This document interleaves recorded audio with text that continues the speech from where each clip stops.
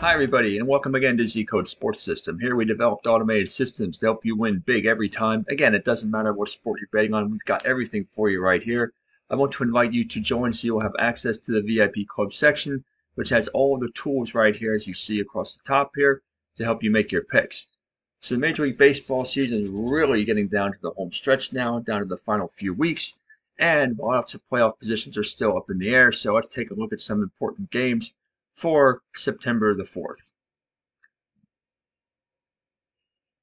Scroll down through here. The first game we want to look at is the Giants and the Cubs. Both teams are in the battle for the NL wildcard spots. Um, with the Cubs holding a slight edge at the moment, right now the Cubs are playing better ball. They're burning hot, coming off of two straight wins and uh, four out of their last five. While the Giants are also um, four and two over their last uh, six games, and they're coming off of a win off after a previous loss. If you look at the uh, over-under, you can see that the teams have been trending in games uh, on opposite sides of the line lately, uh, with the Giants two out of the last three over and the Cubs their last two under the line. Both both teams have been over. Uh, well, actually, the Giants have been over in four out of their last six, and the Cubs three out of their last six. The score predictor has uh, the Giants in a low-scoring game, 4-0, but only has 46% level of confidence in the prediction. If you take a look at the power ranks indicator, not a surprise because the teams are so close in the standings, and because they're both 4 and 2 over their last six, that they are very even here at 19 to 18 in favor of the Cubs. If you look at the head-to-head matchups between the two teams, they met back in June with the Cubs winning two out of the three games in San Francisco, although the San Francisco Giants did have a statement 13 to 3 win in the last meeting. If you look at the stability factor, Notice that both teams are moderately stable, moderately consistent with regard to their favored underdog status, and more so, as you can see, over the last month or so. So in the end, though, I think this is going to be a Cubs win. I like the Cubs the way they were playing. Um, the fact is that San Francisco is not very good on the road. They are just a game on there, a game under 500 on the road, and I don't expect them to do much against the Cubs here. I like uh, the Cubs to win this one. Houston and Texas. Here's an epic battle in the AL West. In the toughest division in the league, really pretty much, with three teams battling for first place. Houston comes in burning hot winners of five out of their last six, while Texas is averaged down three and three over their last six. Again, if we look at the over/under, Houston involved in games over the line mostly in the last six, and the same thing with Texas, although two out of the last three games have been under the line. The score predictor likes a higher scoring game here, 11 to 6 in favor of Houston, but again, take it with a grain of salt with only 40.8% level of confidence in the prediction. On the power ranks indicator, Houston has a slight edge of 24 to 22, and both teams on a slightly upward uh, ascent. Um, head to head, you see the teams have met quite a few times this season already, and well, actually, I didn't go over this to see who did what, but we can look at it right now. So, Houston, Houston, Houston. So, four out of the last five games went to Houston. And then earlier in the season, uh, they split the games, pretty much split the games earlier in the season. So, these two teams are quite familiar with each other, as you would expect being in the same division. If you look at the stability factor, Texas has been more consistent with regard to their favorite underdog status at plus 22 compared to plus 10 for Houston. So in the end, how do we think this is going to go?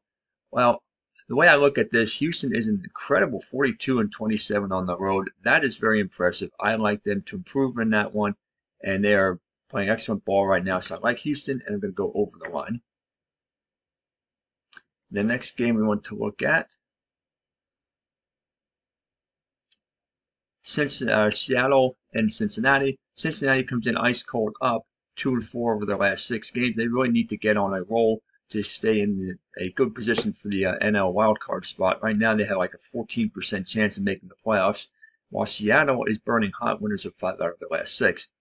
If we take a look at the over/under, the teams have been trending in games under the line. You can see both um, both teams under in three out of their last four games. The score predictor has a higher scoring game, though, but again, it's only the confidence of a toss of a coin Seattle 8, Cincinnati 5. Power ranks indicator look, both teams on the downward trend here. Seattle at plus 21, and Cincinnati dropped from 16 down to 9 just over the last couple of days. Head to head, the two teams, did they meet yet this season? No, they did not yet meet this season, so we don't have to really consider that at all. Consistency wise, with regard to their favorite underdog stats, not so much really. Look at Cincinnati; they're up at plus 11 back on in May, and they're just now at plus eight. So they have not even uh, back a pro stat mark since then. So they've been very inconsistent uh, most of the season.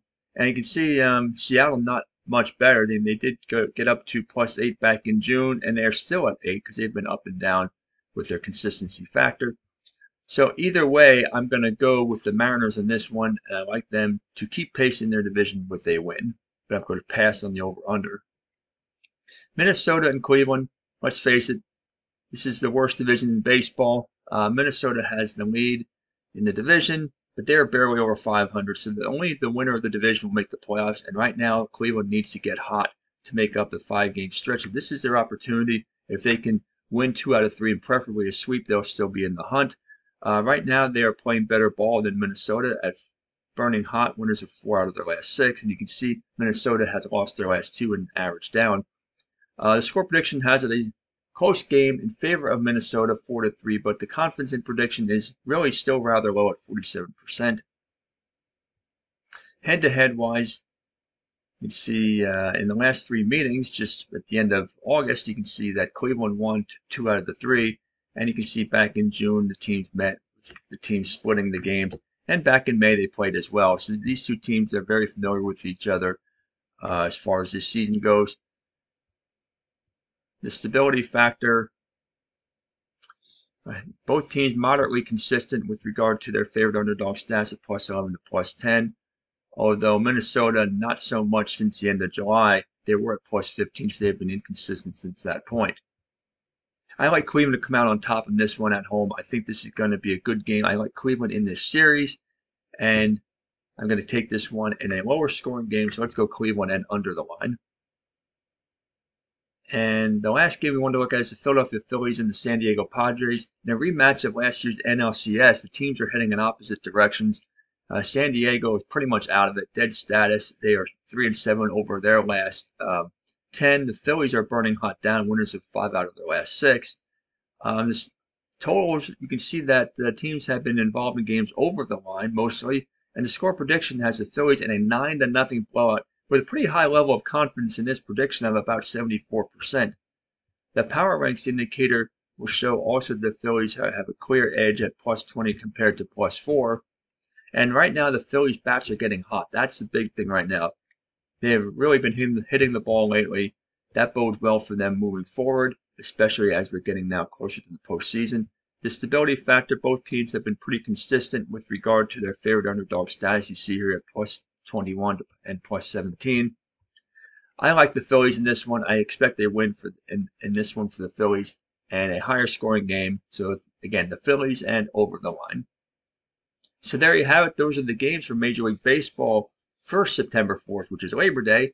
So happy betting, and we will see you next time.